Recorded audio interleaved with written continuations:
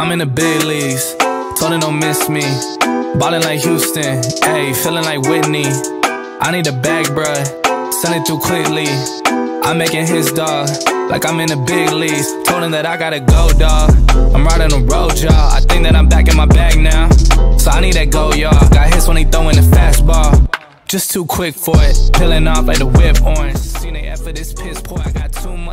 What's up, everybody? Welcome back to another episode of Another Turnover, the basketball podcast where a basketball fan with zero basketball credibility gives his opinions on what's going on in the NBA. Opinions that nobody asked for. As always, I'm your host, Mr. Chris Aaron Murphy, aka AA Ron. And ladies and gentlemen, let's jump right in. Folks, we are in the midst of the very still early stages of the NBA season. And what an NBA season it has been so far. We're like four games in, and there's already a lot of stuff to talk about. So I am excited for this episode, episode three of season three of Another Turnover. So, but before we get into the thick of the show, I have to talk about uh, some fun, exciting things that's happened for another turnover over the over the past uh, week or so.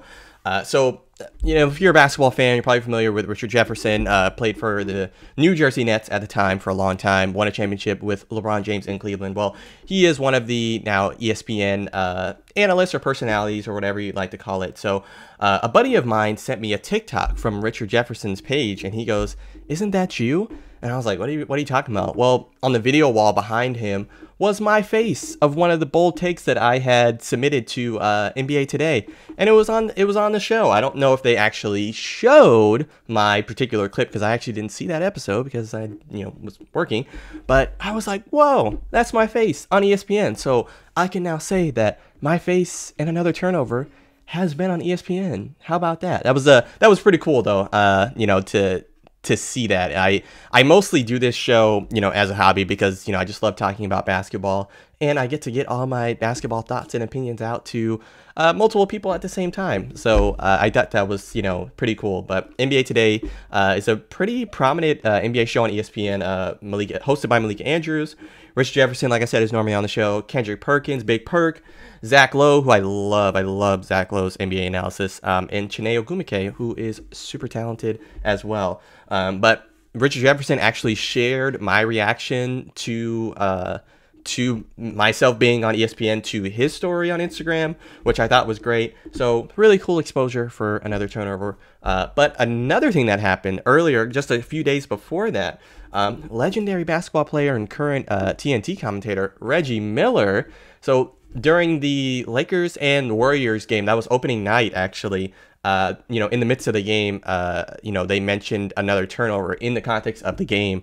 Well, I tagged NBA on TNT and Reggie Miller on Instagram, just jokingly, is like, oh, like, thanks for the shout out, fellas, I appreciate it. Well, he looked at that story and I was like, what the heck? So why is he like I mean I know I mentioned him but I you know I you know no expectations for him looking at it. So so a couple of cool things have happened for another turnover over the past week but I want to give a big shout out to everyone who listens and all the viewers and everyone who sends in you know uh, you know feedback and participates. It really means the world to me. So thank you thank you thank you very much if another turnover blows up, we all blow up.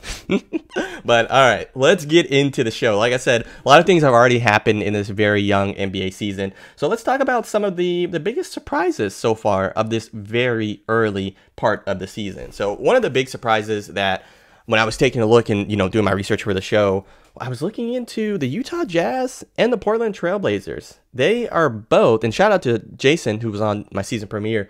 Uh, so far, his bold prediction of the tra- the Trailblazers is looking pretty good.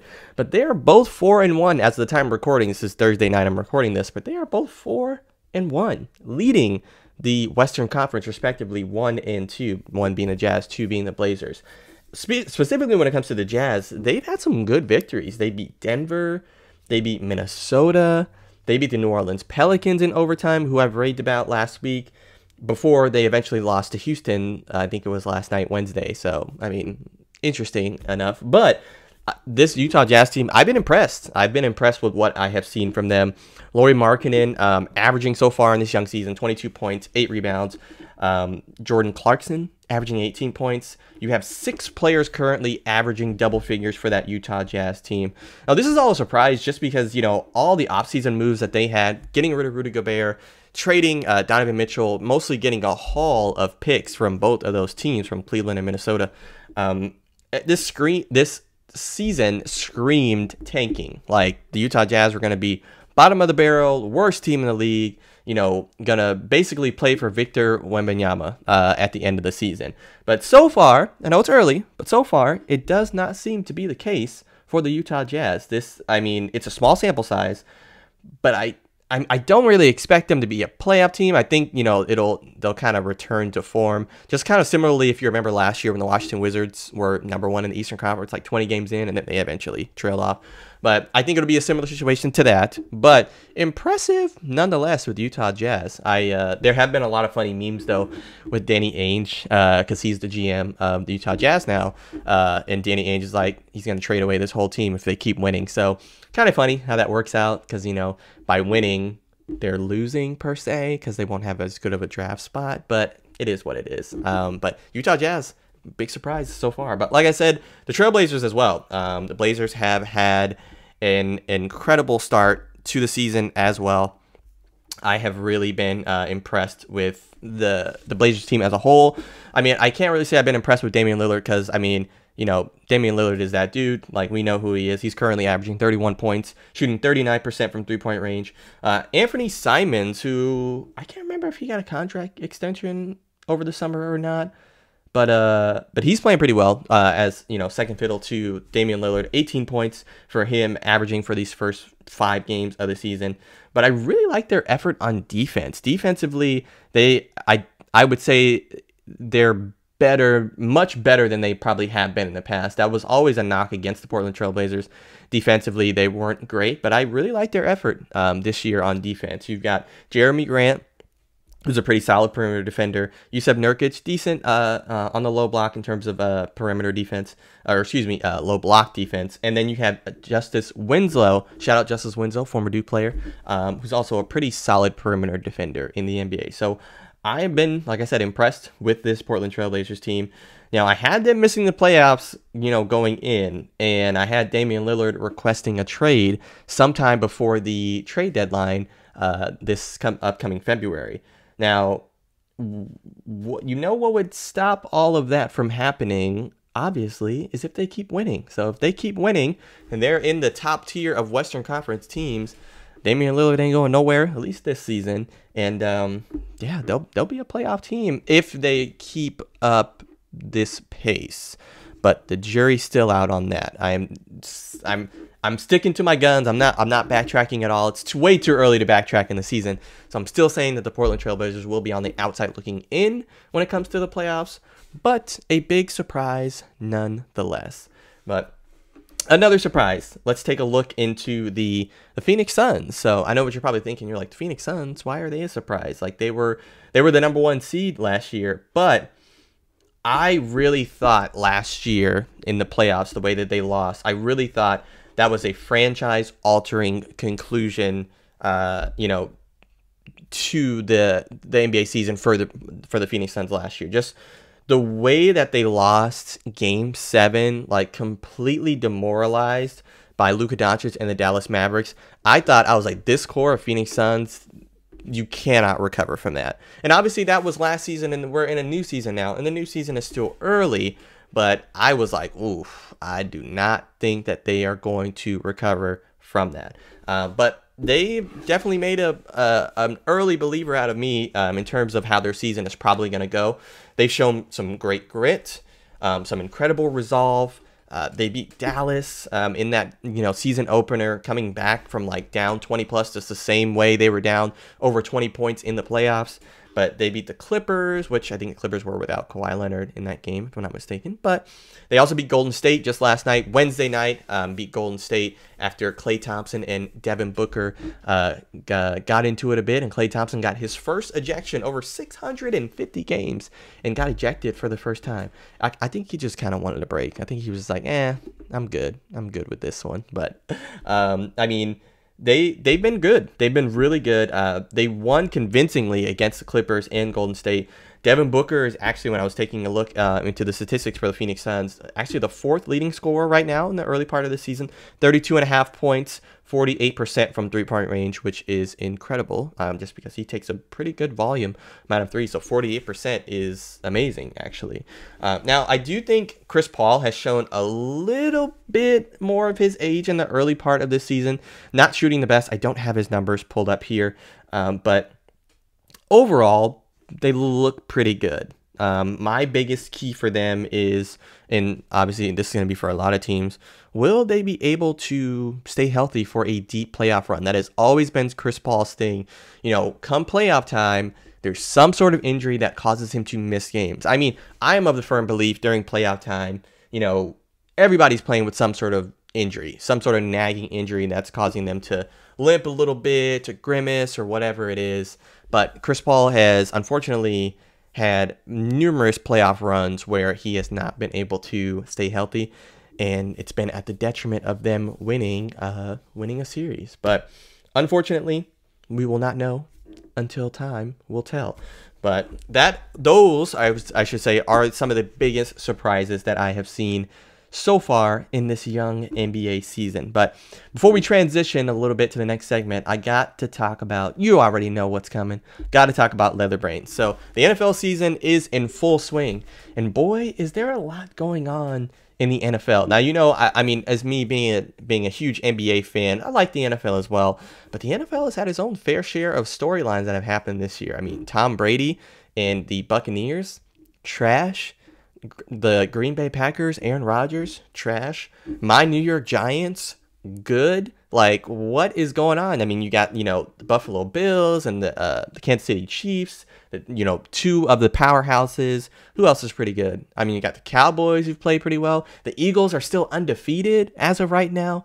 But if you want to keep up when it comes to the NFL and fantasy football, you have to tune in to Leather Brains. If you want to get a step ahead of your fantasy football competition, got to tune in. This is the fantasy football podcast run by Hunter Slapdog Amoruso and Matthew Scotty Holtmeyer. Listen, and they will take you on a journey between analytics and providing valuable insight along with laugh out loud commentary. Uh, trust me, it's a show you don't want to miss. Like I said, I don't know a whole lot about football, but listening to them, they make it fun, they make it engaging, and they make it super entertaining as well. So tune in on YouTube or your favorite podcast app by searching Leatherbrains with a Z and find them on Twitter at Leatherbrains today. But all right, let's transition. Let's go ahead and look into what I have not been surprised about so far in this very young NBA season, because there are some things that I'm going to talk about that you probably already know what are coming, but I got to talk about them because that's what people like to hear.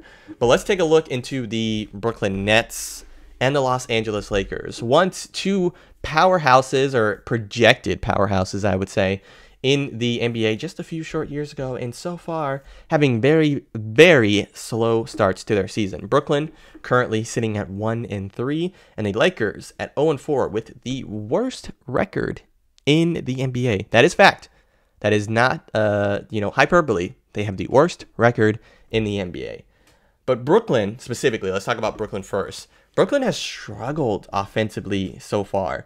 Um, defensively, they struggled as well. That was kind of their Achilles. That's been their Achilles heel for the past couple years, is they weren't great on the defensive end, even though they traded some pretty solid defensive players. But that's a story for another day. But Bruce Brown was a huge part of that team. I didn't really realize how uh, how much of a a role that Bruce Brown had for that Brooklyn Nets team, and he is playing pretty well currently in Denver. He uh, signed with the Denver Nuggets in the offseason. That was a really good pickup for Denver, and I think is a more of a of a bigger loss that the Brooklyn Nets um, probably anticipated. But he is definitely missed when it comes to this Brooklyn defense. But the Nets break three ha- really hasn't been the most, you know, efficient in these first five games of the season or first four games of the season. You know, Kyrie Irving averaging 27 points per game, which is pretty standard for him, but shooting 45% from the field and only 21% from three point range. So not very efficient shooting the basketball so far.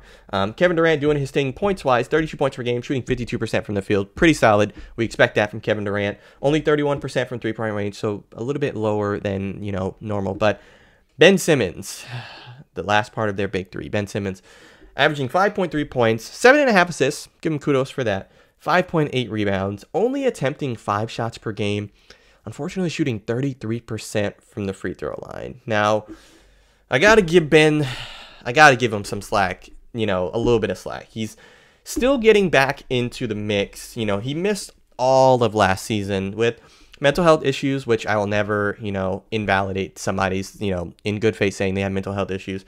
But he also had his back injury as well towards later on in the season, which was interesting, but because he didn't play, but that's neither here nor there.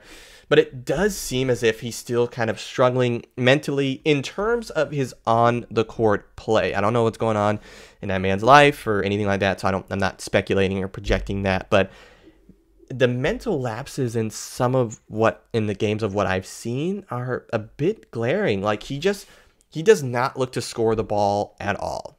Like it's really baffling and it's really weird because he used to in, in Philadelphia he was pretty consistently getting you 18 to 22 points a night like and i know he had a obviously had a bigger role in the scoring department in philadelphia but he can score he can he was able to drive to the basket, get fouled, and you know finish through contact. Never been a great shooter, and that's everybody talks about that. But I don't understand what has happened to Ben Simmons. Um, you know, it's it's it's just really weird. So, um, like I mentioned last week, though, if the Brooklyn Nets struggle through these first 15 to 20 games, I definitely think Steve Nash is fired. I think Steve Nash is gone if the Brooklyn Nets do not have a good start to the season. And so far, I mean, one in three, obviously not a good start, you know, uh, up until this point. They and they have a pretty tough schedule. Let me see here. Nets schedule. I should have had it pulled up, but they have a pretty tough schedule here coming up from what I've seen. They're actually playing Dallas uh, tonight, um, or excuse me, no, today. Um, that is Thursday night. But then they have eh, they got the Pacers coming up. They've got the Bulls. You got the Wizards, the Hornets. So, I mean, not as tough a schedule as I thought over the next week and a half, but still teams that could give them problems and they, they could slide down to, you know, they're one and three right now. They could be one and six, one and seven here coming up if they're not careful. But I, I really, like I said, this, with Steve Nash, though, I think if they don't play well, I think he's gone he may not be the right guy for the job. I personally didn't think he was the right guy for the job when he got hired, but that's neither here nor there. Um, but yeah, this Brooklyn Nets team, not really a surprise that they've struggled just with all some of the new pieces that they have.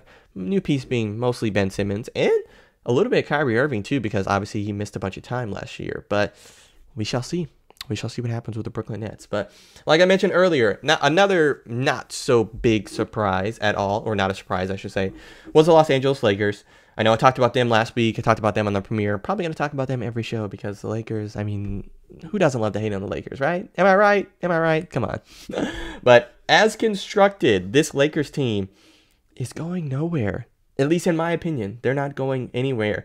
I can't even say that they're going to the lottery because they don't have any draft picks. So they're not even going to the lottery. If they're just bad, they're bad. Like there's there's no other way to sugarcoat it. They don't have any draft picks until 2027 and 2029, which they do not want to trade away, which I don't blame them because it's, you know, future. How much time left do you got with LeBron and Russ and AD, which it, probably not going to be very long at all. But, um, you know, Bron and AD on the court really have been your mostly your only bright spots in terms of on the court play. I mean, they've mostly been doing their thing give or take some efficiency with their shooting, but LeBron is averaging 25 points, 10 rebounds, nearly 8 assists so far in these first four games.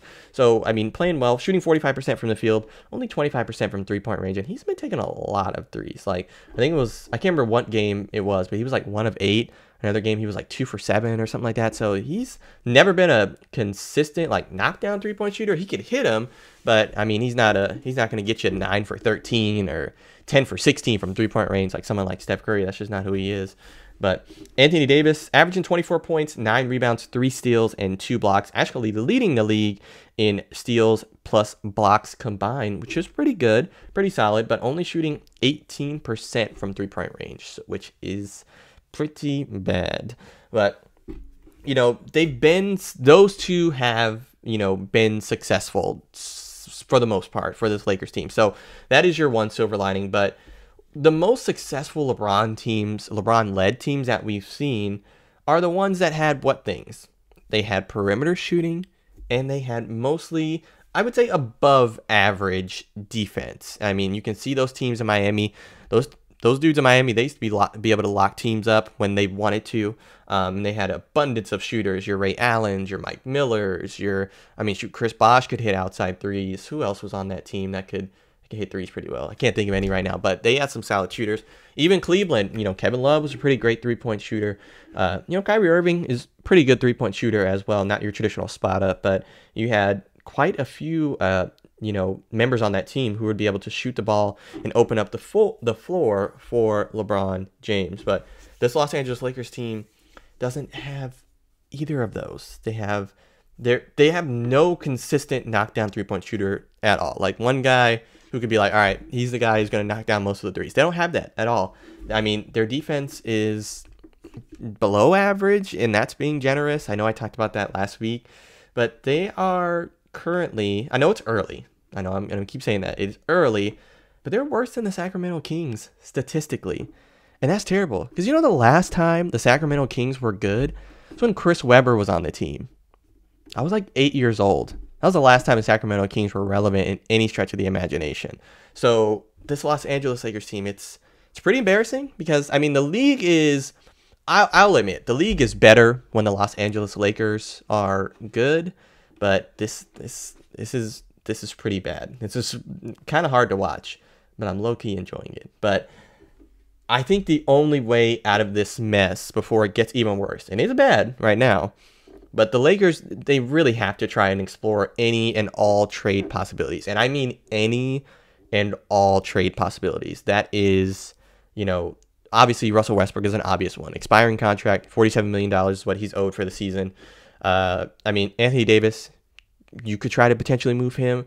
He's injury prone though, so I don't really know who is going to be willing to shell out too many assets for an Anthony Davis who you know hasn't played a full season since God knows how long. Um, LeBron J. LeBron James is obviously older and you know aging, still effective, still probably put him top 15 uh, players in the NBA right now. But you know he's just older. Father time is is creeping up on him, and it it catches everybody. But I know Rob Pelinka, the GM, president of basketball operations, one of the two, just recently got extended, uh, but he's clearly not a roster builder. I mean, the young pieces that they had already had uh, in, in, when they won in 2020, I mean, wasn't really much of his doing overall. Um, so, I mean, I, I, don't think Jeanie Buss is going to let Rob Pelinka go, but I mean, I wouldn't be mad if she did that, but I doubt that's going to happen. But like I said, they won the title in the bubble in 2020 you know, you achieve the ultimate goal when LeBron James goes anywhere. His ultimate goal is been a championship. He's won championships everywhere he's been. You know, uh, won Miami, his second stint in Cleveland, obviously won in the second year for the Lakers. Yeah, second year being for or playing for the Los Angeles Lakers.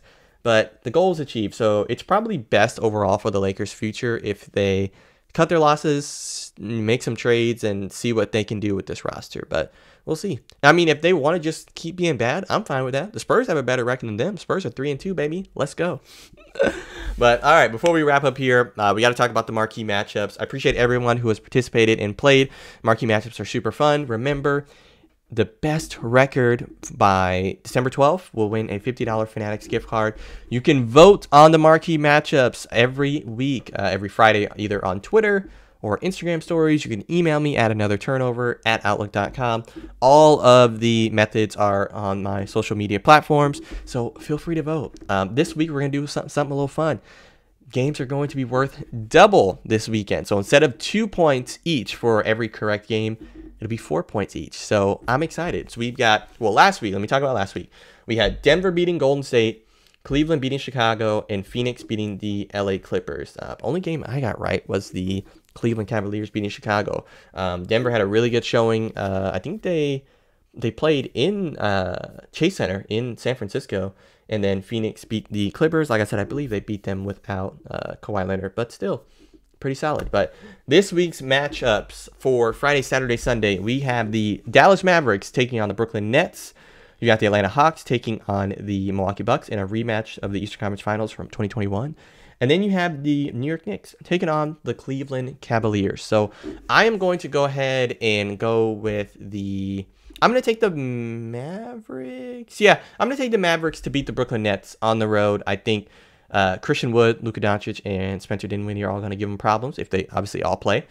And then I'm going to go with I'm going to go with the Bucks to beat the Hawks at home. And then I'm going to go with the Cavs to beat the Knicks on the road. Knicks have been undefeated at home, but they I mean they're 3 and 1 right now. They haven't really beat any good teams, but so this will be a good test for Sunday against a pretty solid Cleveland Cavaliers team. But that's what I got. I've got Mavericks, Bucks, Cavaliers. Like I said, be sure to get your votes in for a chance to win that money. But anyway, folks, that is all the show I have for you today. I appreciate you, like I always say, like, share, subscribe, leave comments, do whatever it is that you want to do. Do whatever makes you happy. I appreciate you listening. I appreciate you watching if you're on YouTube. So, exciting slate of games. I am very much looking forward to what's coming up. But I hope you have a wonderful weekend. Stay safe, take care, and I will see you next week. I gotta go. I'm riding road, y'all. I think that I'm back in my bag now. So I need that go, y'all. Got hits when he throwing fastball. Just too quick for it. Peeling off like the whip orange. Seen they effort this piss poor. I got too much I gotta tend to. Car